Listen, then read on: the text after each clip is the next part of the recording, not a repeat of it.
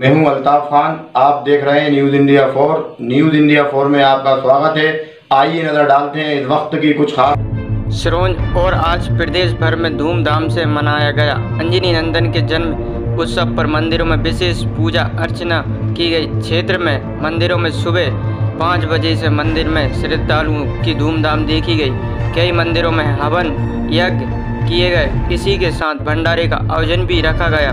आज महावीर संकट मोचन भगवान जी की शोभा यात्रा शहर में निकाली गई, जिसमें हज़ारों की संख्या में श्रद्धालुगण उपस्थित रहे।